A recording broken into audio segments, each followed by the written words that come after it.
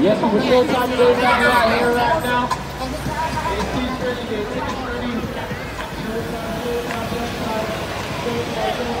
it's